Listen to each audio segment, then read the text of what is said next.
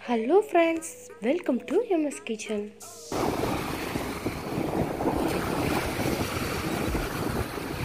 இன்றைக்கி நம்ம சேனலில் என்ன பார்க்க போகிறோன்னா டேஸ்ட்டாக வெண்டிக்காய் பொரியல் எப்படி செய்யலான்னு இன்றைக்கி நம்ம சேனலில் பார்க்கலாம்.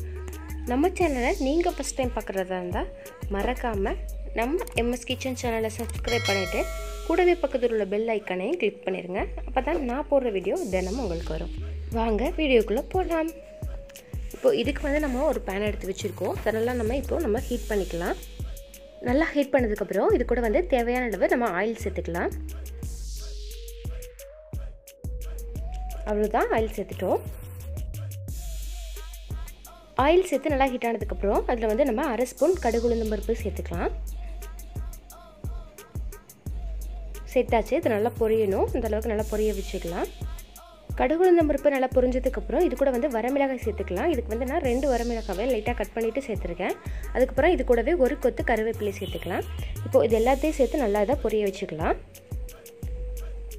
அவ்வளோதான் அடுத்து வந்து இது கூட நம்ம வெங்காயம் சேர்த்துக்கலாம். இதுக்கு வந்து நார்மல் சைஸ் பெரிய வெங்காயத்தை நான் கட் பண்ணிவிட்டு சேர்த்துருக்கேன் இதுக்கு. அவ்வளோதான் இப்போ இது எல்லாத்தையும் நல்லா நம்ம வதக்கிக்கலாம். வெங்காயம் நல்லா வதங்கணும். அதனால் நம்ம இப்போ ஒரு மூடி போட்டு அதை நல்லா நம்ம வதக்கிக்கலாம்.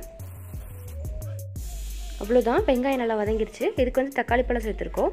இதுக்கு வந்து நான் பெரிய தக்காளியில் பாதியை மட்டும் கட் பண்ணிவிட்டு சேர்த்துருக்கேன் இதுக்கு. இப்போ இது சேர்த்ததுக்கப்புறம் இதையும் நல்லா நம்ம வதக்கிக்கலாம். அவ்வளோதான் இப்போ வந்து இதுக்கு தேவையான அளவு நம்ம உப்பு சேர்த்துக்கலாங்க. இது நல்லா வதங்கணும். வெண்டிக்காய் எல்லாத்துக்கும் சேர்த்து தேவையான அளவு உப்பு சேர்த்துக்கோங்க. அவ்வளோதான் உப்பு சேர்த்துட்டோம். இப்போ இதை நல்லா நம்ம வதக்கிக்கலாம். இந்த மாதிரி நல்லா வதங்கினதுக்கப்புறம் அடுத்து வந்து இது கூட நம்ம மிளகாய்த்தூள் சேர்த்துக்கலாம். மிளகாய்த்தூள் கொஞ்சமாக சேர்த்துக்கோங்க. மிளகாய்த்தூள் சேர்த்ததுக்கப்புறம் அதையும் நல்லா நம்ம வதக்கிக்கலாம். அவ்வளோதான் எல்லாத்தையும் சேர்த்து நல்லா மிக்ஸ் பண்ணதுக்கப்புறம் வெண்டிக்காய் சேர்த்துக்கலாம். நான் வெண்டிக்காய் வந்து இந்த மாதிரி குட்டி குட்டி பீஸாக கட் பண்ணியிருக்கேன். இப்போது அதை வந்து நம்ம இது கூட சேர்த்து நல்லா மிக்ஸ் பண்ணி விட்டுக்கலாம். இது கூட.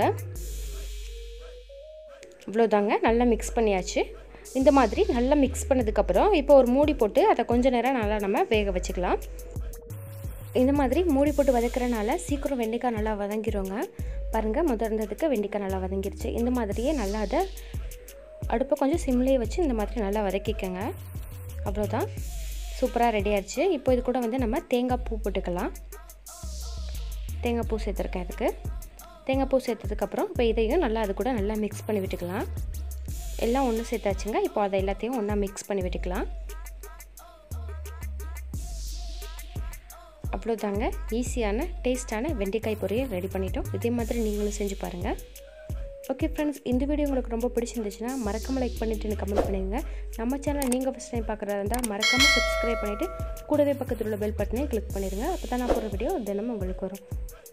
ஓகே ஃப்ரெண்ட்ஸ் பாய் இதே மாதிரி இன்னொரு ஒரு வீடியோவில் மீண்டும் சந்திக்கலாம்.